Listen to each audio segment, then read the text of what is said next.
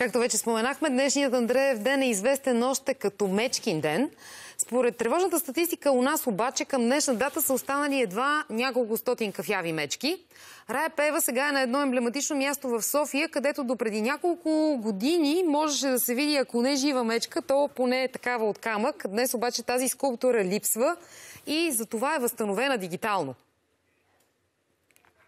на ВВФ за последните 50 години сме загубили 68% от биоразнообразието в света. Отишли са си 68% от популациите на бозайници, риби, птици, земноводни. Тази притеснителна статистика, за съжаление, се вижда и у нас. Губим тревожно броят на мечките.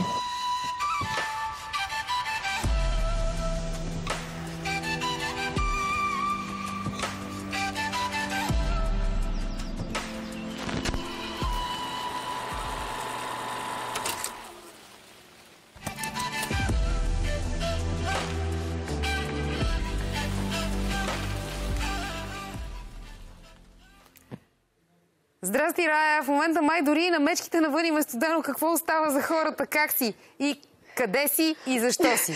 Там. Да, здрасти, Деси. Да, наистина е доста студено. Мечките вече, доколкото знам, са в зимен сън. Аз в момента съм в Борисовата градина и се намирам а, до тази емблематична всъщност скулптура, която вече липсва на мечката. Но, за съжаление, това... Не, всъщност, надявам се това а, да се върне. Ето това са моите сега събеседници, с които се виждаме. Малко ми е студено, затова не мога да мисля много-много. Но ще си говорим за изчезването на кафявите мечки в България. Това така ли е? Наистина ли са изчезнали? Не, не са изчезнали. Напълно. Намаляват. Да, точно на... Защо? А защо намалява? Това човешката намеса ли всъщност? Защото не ги пазим. Убиваме ги, за съжаление. Това е решението, което сме измислили. Когато има конфликт, конфликт с мечка, когато има проблем с мечки, а, няма никаква превенция, хората не знаят точно какво да направят, те просто ги убиват. И от ВВФ се опитваме да измислиме друго решение и се опитваме да спасим животинките, които примерно тази година много влизаха в населени места, защото нямаха храна, достатъчно храна в гората. Е сега едно мъченце от Габрово, от Габровско село преместихме на дълбоко в Балкана. Колко годинки е На три, но още е малко мече. Е, 100 кг, малко мече, да. А добре, то мисъл с на хората как се държи меченцето? Страхува ли се? Аз гледах едно видео преди време, си спомням, едно много мъничко беше и беше изключително оплашено. За съжаление, все по-малко се страхуват. Те свикват с хора и тук е момента, в който трябва да се действа нали, умно, човешки, в хармония с природата и да се намери начин това животно да се върне в хабитата си, хората да не ги е страх от него, а да се учат. хората не трябва да се страхуват от тях? Защото може, можем да живеем заедно, съвсем спокойно можем. В България имаме този огромен шанс да си имаме опазена дива природа, имаме мечки и вълци в планините, които в Европа го няма и ние сме се научили да живеем с тях.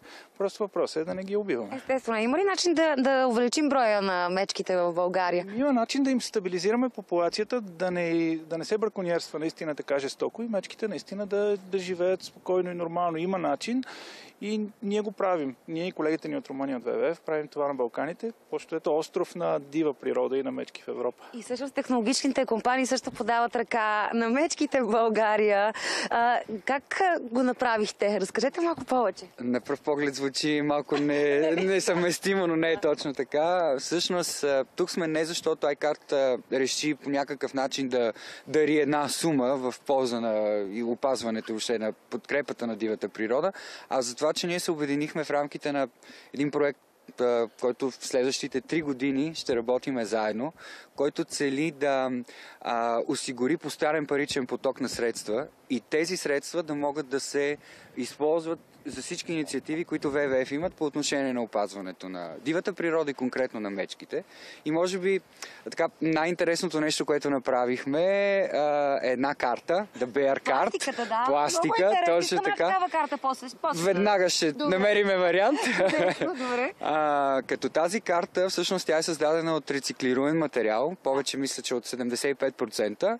А, може да бъде и рециклирана в последствие след нейното използване. Като целта на тази карта всъщност е а, при нейното използване а, колегите от а, MasterCard а, предоставят дарение в рамките на 20 стотинки за всяко плащане, а ние се отказваме от а, месечните си такси по тази карта и те отиват отново в а, подкрепа на техните инициативи и въобще на нашия проект заедно за дивата природа. Това е наистина чудесно начинание и разбрах, че всъщност ние може да го видим това нещо, как се случва. А, да разкажете за, за а, Значи от MasterCard iCard заставаме зад множество каузи за опазване на дивата природа, но с колегите от ВВФ и iCard създадахме нещо, което е в хармония с дивата природа и високотехнологично, за което ние се радваме страшно много да подкрепим такава кауза и да имаме някакъв импакт действително върху един вид като дивите мечки, които са нещо страхотно и сега направо ще покажем всъщност Да, ние Какво? да го демонстрираме това нещо. О, може да се Чакай само да се сложим. Да.